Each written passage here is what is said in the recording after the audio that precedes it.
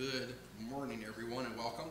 On behalf of the Spurgeon family, I'd like to thank everybody present and those watching on live stream today for joining us as we gather in remembrance of Keith Spurgeon. And if you'd like to follow along at this time, we're going to go ahead and uh, read the eulogy on the back of your cards there. Keith Dwayne Spurgeon was born March 22, 1971, to Tom and Emily Spurgeon in Longview, Washington, but grew up in Lander, Wyoming. He enjoyed doing farm work, riding horses, motorcycles, and doing a wide variety of other things. He moved back to Longview, Kelso area in 1987 and graduated from Kelso High in 1989. Keith became a truck driver in his early 20s and enjoyed being on the open road. Later, he had several odd jobs and finished his career as a millwright in Kennewick, Washington, where he lived for the last five years and met his sweetheart, Tanya Loomis. Keith lost his battle to cancer and went home to be with his Lord on Thursday, March 10th, 2022.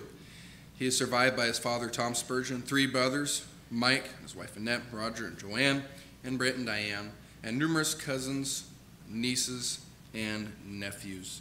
Once again, I'd like to welcome you and, and thank you for being here today. This time, let's go ahead and open in a word of prayer.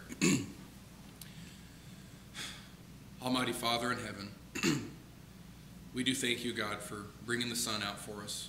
Lord, uh, as we come here today in memorial for Keith Spurgeon, Lord, I pray that you would just help those that are here today. You would please be with them, give them peace, help their grief, Lord. Be with Tom, be with the family, be with the friends, be with those that are watching. I pray that you would just meet with us today and help all of those, Lord, to get through these trying times, Lord, with your grace and with your mercy and your long suffering. I thank you for your love for us, Lord, today. In Jesus' precious and holy name I pray. Amen. At this time, the family has put together a slideshow. Uh, it's about five minutes long. They'd like to put that up on the, the screens for everybody to watch, and then I believe Livestream will be able to see it as well, correct? So at this time, we're going to go ahead and put that up.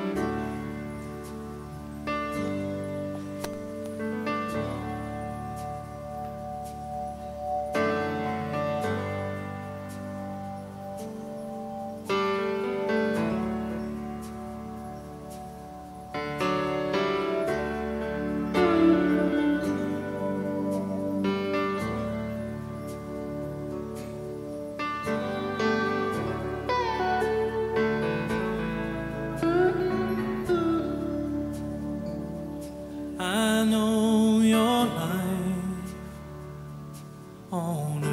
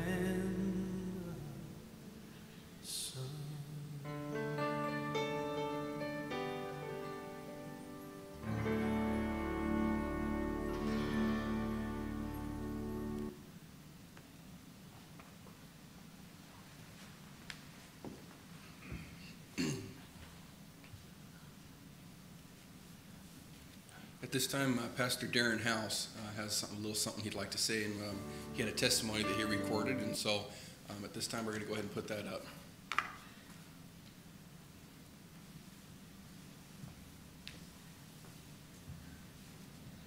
I would like to express, on behalf of Carrie and I, and Longview Bible Baptist Church as well, our sympathies for the Spurgeon family. Tom, we're sorry about the passing of Keith. Have several memories of Keith, um, but one that stands out in particular to me was when Travis was going through all of his health problems. And uh, Keith came up to our house with uh, several toys for him when he was really going through it. And uh, Keith tended to have a somewhat of a rugged exterior, as we know, but he uh, he also had a soft heart. And uh, and we just would like to say we're sorry at his passing, but uh, I'm thankful for the hope that we have in Jesus Christ, that we can see those again that have gone on before. Thank you. Pastor got started off, but we'd like to, the family would like to open up to anybody who uh, would like to say anything, perhaps a memory or a testimonial. Uh, if you'd like, I have a mic here that I can give you.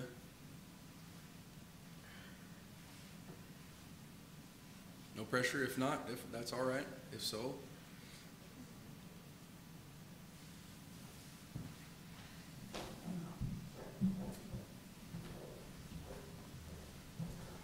Um, one thing uh, good about Keith was that him and all the boys were always joking with us uh, gr- uh, nephews.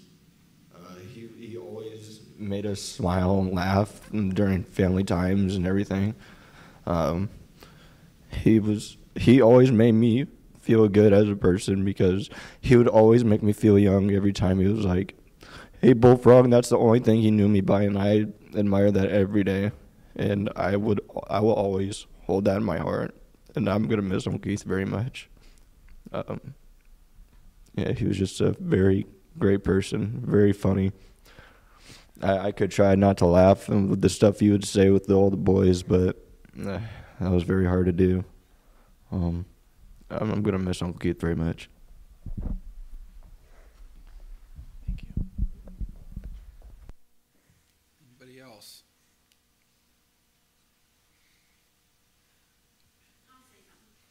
I just, from like Pastor said, he had kind of like a rough uh, exterior, but Keith always had a good heart, and he, um, he was funny. He had a great sense of humor, and did keep us laughing. and some of his dumb things he did made us laugh, you know.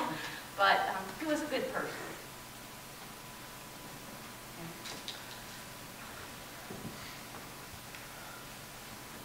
Anyone else?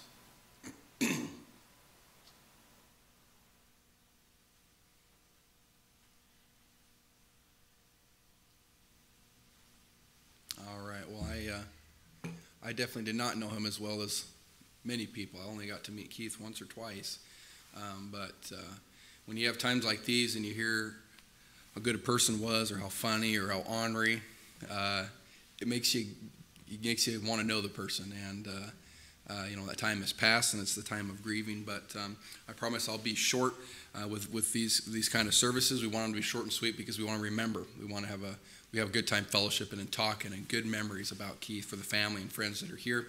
Um, so I will be very short here. But as many times as we see it in life, and as many times as we hear it from a pulpit much like this one across the world, the saying death is a natural thing does not quite describe the feelings or emotions surrounding times as these, nor does it describe God's true desire for us in this room today. The Father in heaven never desired death to be a natural thing that everyone would eventually face. It is unnatural, as it is a result of the sins we commit that separate us from Him and His perfect plan when He created us. While we know that according to the Word that we are all on this beautiful planet for but just a brief time, and that death can come at any given moment without notice, we can take solace in the fact that our last breath taken in our body on this earth can be followed by our first breath in God's heaven, shared with those that believe. It is only a simple choice, a choice of accepting a gift that was freely given by someone that was willing to sacrifice everything to defeat death and restores God's true plan for us. God only desires a relationship with each and every one of us today. While we might have broken that relationship with the sin we commit in this life, God was unwilling to let that stop him from still having that relationship with us. He made a way, He made His Son the way. The Bible tells us in Romans chapter 3 As it is written, there is none righteous, no, not one. For all have sinned and come short of the glory of God. Romans 6 continues on to say, For the wages of sin is death, but the gift of God is eternal life through Jesus Christ our Lord. But now, being made free from sin and become servants to God, ye have fruit unto holiness and the end, everlasting life. We do not have to live in the bondage of sin, the trials of this life, the burdens of this life. Through the blood of Jesus Christ, we can be free from that bondage, and all we must do is just simply believe. John 14 says this Jesus saith unto him, I am the way, the truth, and the life. No man cometh unto the Father but by me. And whosoever liveth and believeth in me shall never die. Believest thou this? God made a way to defeat death. Death is indeed is a punishment, an eternal separation from God because of the mistakes, the sins, the choices we've made in this life. And while we might experience a fleshly death someday, as all of us will eventually face, due to those trespasses, that same one and only God made a way for that not to be the end for us. Through believing in his Son and accepting him as our Savior through his death, burial, and resurrection, we can have the gift that he so desperately wants to give us the gift of eternal life. That John 11 just said, And whosoever liveth and believeth in me shall never die. The Bible tells us in 2 Timothy 1 Who hath saved us and called us with an holy calling not according to our works, but according to his own purpose and grace, which was given us in Christ Jesus before the world began. But is now made manifest by the appearing of our Savior Jesus Christ, who hath abolished death and brought life and immortality to light through the gospel. Verse 9 there said, Not according to our works, but according to his own purpose God's purpose for us was never that we die and be separated from Him. That was never His purpose. While our life may someday end on this earth, our eternal life, living forever, through Jesus starts when we believe on His name and isn't hindered or bothered by us taking our last breath on this planet. God has made a way to not dread passing from this earth, but rather looking forward to the day that we just simply pass from this life to the next. Where there'll be no more cancer, there'll be no more grief, no more sorrow, no more trials, no more tribulations, just eternal life with our Lord Jesus Christ. God has laid out the path to heaven he made his son the way to get there. The only thing that remains is for us to believe his word and follow that path. as we're here today, remembering those that are here in this building and those that are watching, as we gather here today, remembering Keith and the memories each and every one of you had with him, let us remember this one additional thing that through belief in Jesus Christ, death does not have to be the end of life. it simply just turns death into a pit stop until we meet our Savior, Jesus Christ. Death does not have to be the end, but rather it can be the beginning of the eternity we can spend with Him. It's a hope we can look forward to. It changes our entire look on life.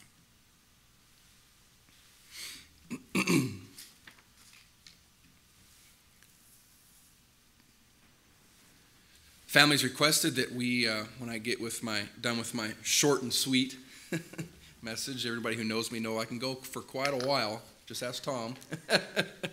um, but that's not what it's about today. Today it's about remembering, and the best chance to do that is to all of us to get together. We have a short potluck afterwards with some uh, snacks and cookies. And Tom, most important thing out there, coffee. All right, brother. and all in the back. But they'd asked that we would, before we close, that we would all stand and that we, we would sing uh, Mansion Over the Hilltop. And if you don't know it, the words will be up on the screen, but I'm pretty sure everybody knows this one. Mansion Over the Hilltop. And you know what? We're going to we're going to go ahead and sing all three verses. あっ!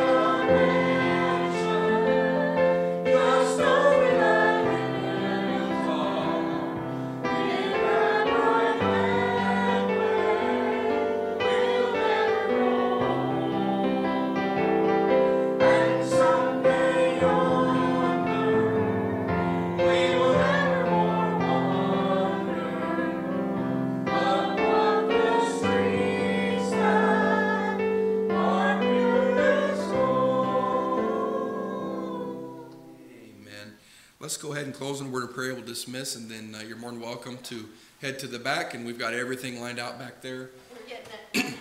All right, they're getting it right now. And we can have a good time of fellowship back there. All right, let's go ahead and close in a word of prayer. Almighty Father, Lord, as we come before you once again, we pray, Lord, once again that you would just please help, Lord, Tom and the family that's here today and, and those that are watching that uh, get to share uh, on, on streaming, Lord, but maybe not here, Lord, personally. I pray you please be with them. Lord, please, Lord, encourage them, give them peace, give them grace, Lord. I, I think of Mike, Lord, and uh, as he's not here but streaming, Lord, I pray you be with him.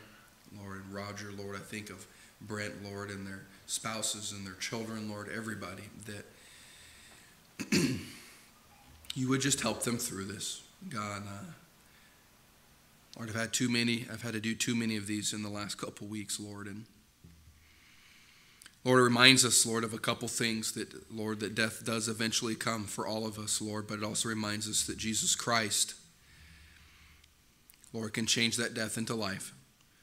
Please help us remember that as we leave here today. Lord, help us to have a good time fellowshipping and reminiscing, Lord, about Keith. I thank you for it. In Jesus' precious and holy name I pray. Amen. You are dismissed.